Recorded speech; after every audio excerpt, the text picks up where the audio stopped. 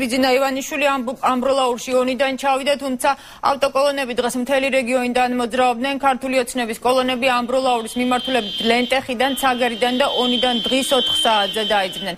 რამდენიმე ასეული ავტომანქანა კი 6 საათისთვის უკვე ამბროლაურის შესასვლელთან იყო. სწორედ იქ გამართა დღევანდელი აქცია, რადგან ცენტრალურ მოედანზე ქართულ ოცნებას შეკრების საშუალება ადგილობრივმა მუნიციპალიტეტმა არ მისცა.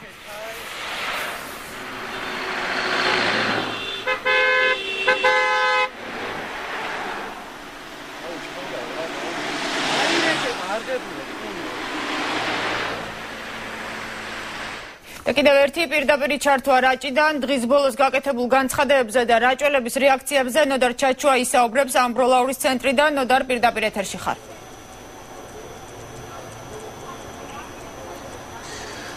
დიახ აქციის დასრულების შემდეგ შეფასებები გააკეთეს როგორც კოალიციის ლიდერმა, ასევე ქართული ოცნების სხვა წევრებმა და თავად ადგილობრივებმა, რომელიც დღევანდელ აქციას აქ ამბროლაურში ესწრებოდნენ, ამბროლაურში სადგურის მოედანზე ესწრებოდნენ, როგორც ბიზნა ივანიშვილმა აღნიშნა იგი. დღევანდელი აქციით კმაყოფილია და მან ბოლომდე მოახერხა საკუთარი სათქმელი სრულად ეთქვა აქ შეპრებილი საზოგადოებისთვის. ასევე დღეს კოალიციის ლიდერმა ჟურნალისტების შეკითხვებსაც უპასუხა და ჟურნალისტების შეკითხვებსაც უპასუხა იმ ბრალდებებთან დაკავშირებით, რომელიც ხელისუფლებიდან მომდინარეობს თითქოს და ბიზნა ივანიშვილს საბჭოთა კავშირი კავშირის აღდგენა და წარსულში დაბრუნება სურს ქვეყნის როგორც მან აღნიშნა ეს სურვილი სწორედ სააკაშვილს აქვს და საბჭოთა ხელისუფლება სააკაშვილმა უკვე საქართველოსში დაამკვიდრა. ეს ხელისუფლება აშინებს ხალხს იმით რომ ჩვენ მოვალთ საბჭოთა ხელისუფლების გას დავამყარებ ან რუსეთს შემოიყვან.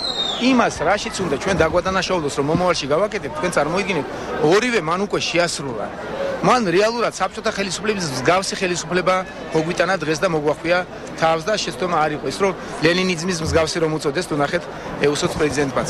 ძალიან მოგუპილი ვარ მე შემიძლია საკუთარი თავი შევაფასო დღევანდელი. ჩემი გამოსვლით რომ მე მგონი რომ ბოლომდე მოახერხე და რითაც ვიყავი. შებორიკილი მე საოცრად მეყვარს ადამიანები. საოცარ სიტყვას ვგზნობდი მოდა მათგან და აი გუშინ ლეჩხუმში და აი დღეს რაც ამოვედი რაჭაში ლენტეხი ლეჩხუმი სტის რეგიონები და რაჭა მთლიანად რომ არ გავხსნილიყავი უკვე ვეღარ ვახერხებდი. იმდენად დამხტული ვიყავი და მე მოახერხე და უთხარი ჩემს საყვარელ ხალხს რომ უზომოდ მეყვარს ისინი. რამდენადაც მათგანაც ძალიან დიდ სიტყვის ღებულობ და დიდ სიყვარულს ვგზნობ შეფასებები აქციის დასრულების შემდეგ იმ ლიდერებმაც გააკეთეს, რომლებიც აქ ამბროლაურში იმყოფებოდნენ, როგორც ისინი აღნიშნავენ, დღევანდელმა დღემ ქართულ ოცნებას დაანახა ის, რომ შიში საბოლოო ჯამში გატეხილია და ქართული საზოგადოებას ქართული ოცნების იმედი აქვს, როგორც ქართულ ოცნებაში აცხადებენ, ისინი ყველაფერს გააკეთებენ იმისთვის, რომ ეს იმედი საზოგადოებისა შეასრულონ. ეს იყო მართლაც რაღაცა განწყობის ხალისის იმედის ზეიმი. იმ განწყობის რომელიც რომელი განწყობიდაც ეს ხალხი არის და ფიქრობს რომ ძალიან მალე საქართველოს უნდა მოვიდეს მართლაც რაღაც სიხარულის ღირსების თანასწორობის დრო დღეს ამბროლაურის აქციამ დაანახა რომ ხარდამჭერების რაოდენობა დღითი დღე იზრდება რომ ამ რეგიონში და არა მხოლოდ რაჭაში არამედ ზაგერში, ლეჩხუმში, ქვემო სვანეთში განწყობა არის ძალიან იმედის მომცემი. ძალიან ბევრი ხარდამჭერი ყავს ქართულ ოცნებას და ეს ხალხი მზად არის გამარჯვებისთვის ადგილობრივები კი რომლებიც დღევანდელ აქციას ესწრებოდნენ აცხადებენ რომ ცვლილებების დროა და ისინი დღევანდელ აქციაზე მოვიდნენ სწორედ იმიტომ რომ 1 ოქტომბრის შემდეგ მათ აქვს სურვილი ნახონ სულ სხვანაირი საქართველოს განსაკუთრებით მოყოფილი ვარ ბატონ დიძინას გამოსით, იმიტომ რომ ბატონ დიძინამ ბევრი რამ ისეთი თქვა, რაც სხვაგან ჯერ არ უთქვავს და ზოგიერთ ასე თქვა რუსები რუტყვიან ის წერტილი დაუსვა, იმიტომ რომ კაფიოდ გამოხატა თავისი პოზიცია კიდევ ერთხელ ზევანდელი ხელისუფლების ქმედებების მიმართ.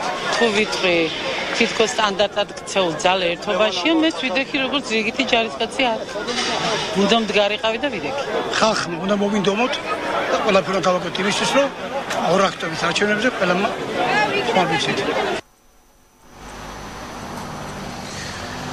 ასეთი იყო შეფასებები დღევანდელი დღევანდელ აქციასთან დაკავშირებით, როგორც საზოგადოების ასევე კოალიციის ლიდერების შეეხება შემდეგ აქციას უკვე კოალიცია ქართული ოცნება გამართავს 2 სექტემბერს თელავში, ხოლო 9 სექტემბერს კახეთის შემდეგ კი უკვე საკუთარ ამომრჩეველს კოალიციის ლიდერები ზუგდიდში შეხვდებიან. მადლობა ეს იყო ნოდარ ჩაჩუა და პირდაპირ ჩართვა ამბროლაური